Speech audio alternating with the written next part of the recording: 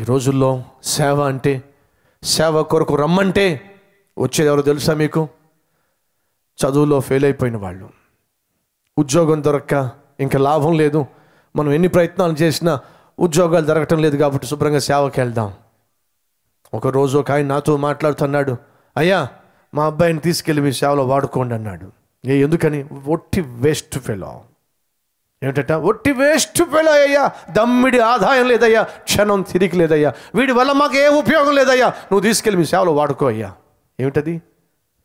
అంటే చెత్త చెదారమా దేవునికి కావాల్సింది? విద్యావంతులు దేవునికి అవసరం లేదా? టాలెంట్ గల వాళ్ళు దేవునికి అవసరం లేదా? మంచి హోదాలో ఉన్న వాళ్ళు దేవునికి అవసరం లేదా? అధికారంలో ఉన్నవారు దేవునికి అవసరం లేదా? అదేమిటో?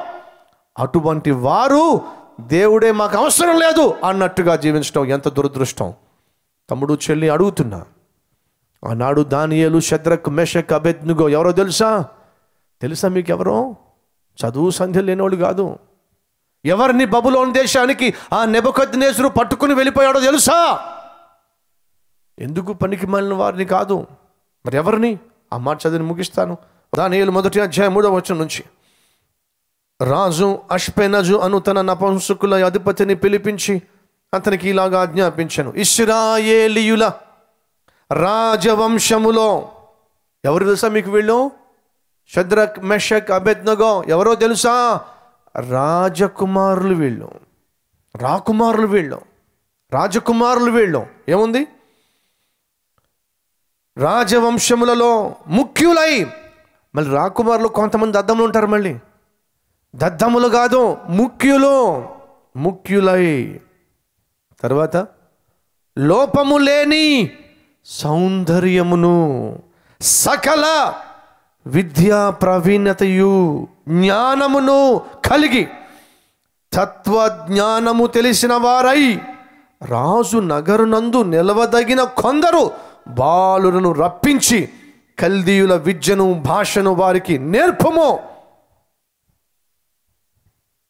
ఆరవ వచనము. యూదులలో నుండి దానియేలు హనన్య మిషాయేలు అజర్య అనువారు వీరిలో ఉండిరి. ఎవరిలో? రాజకుమారులలో ముఖ్యులై.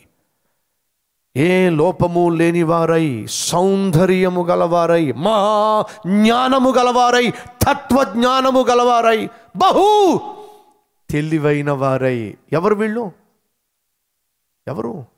జీవము కలిగిన దేవుణ్ణి సేవించే యవనస్తులు.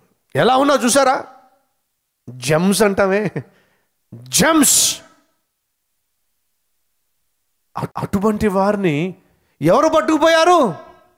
బబులోను దేశపు రాజు పట్టుకుపోయాడు. ఎక్కడికి? తన రాజ్యానికి పట్టుకెళ్ళిపోయాడు. తన కొరకు వాడుకోవడానికి వాళ్ళ భాషను నేర్పించాడు వాళ్ళ విద్యను నేర్పించాడు వాళ్ళకున్న తలాంతు టాలెంటు శక్తి యుక్తులు మా దేశ అభివృద్ధి కొరకు వాడాల్సిందే. పట్టుకుపోయాడు. అయ్యో! ఈరోజు సైతాను అదే చేస్తున్నాడు. తన రాజ్యం యొక్క అభివృద్ధి కొరకు తన రాజ్యం యొక్క విస్తరణ కొరకు విస్తరణ కొరకు తెలివైన వాళ్ళను జ్ఞానము గల వారిని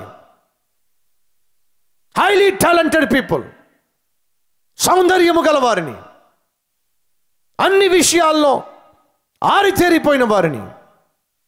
ఏ పనిస్తే ఆ పనిని ఖచ్చితంగా చక్కగా అద్భుతంగా చేయగలిగిన వారిని. ఏం చేస్తున్నాడు సైతాను? తీసుకుపోతున్నాడు. తన రాజ్యం కొరకు తీసుకెళ్ళిపోతున్నాడు. మరి ఎవరిని విడిచిపెడుతున్నాడు? సేవ కొరకు ఎవరిని విడిచిపెడుతున్నాడు? నాకు ఈ వీడి వల్ల లాభం లేదు ఉపయోగం లేదు అనేటటువంటి వారిని విడిచిపెట్టేస్తున్నాడు. టాలెంటెడ్ పర్సన్స్ని స్కిల్ఫుల్ పీపుల్ని బాగా చదువుకున్న వాళ్ళని అడుగుతున్నాను తమ్ముడు అడుగుతున్నాను చెల్లి. దేవుడు నీకు చక్కని చదువునిచ్చాడు మంచి ఉద్యోగాన్ని ఇచ్చాడు జ్ఞానాన్ని ఇచ్చాడు టాలెంట్ని ఇచ్చాడు దాన్ని వాడాల్సింది సైతాన్ యొక్క సామ్రాజ్యము విస్తరణ కొరకు కాదు. సైతాన్ యొక్క రాజ్యంలో పనిచేస్తూ వాడికి ఇష్టుడిగా కాదు. నీకు ఇచ్చిన తలాంతు నీకు ఇచ్చినటువంటి ఆరోగ్యం నీకు ఇచ్చినటువంటి శక్తి యుక్తులు నువ్వు కలిగి ఉన్నటువంటి శ్వాస నిశ్వాస అది జీవము కలిగిన దేవుని వల్ల నీకు అనుగ్రహించబడింది. దాన్ని నువ్వు దేవుని కొరకు వాడితేనే నీ జీవితము సార్థకమవుతుంది. నువ్వు దేవుని కొరకు బ్రతికితేనే నీ బ్రతుకులో ఒక అర్థం ఉంటుంది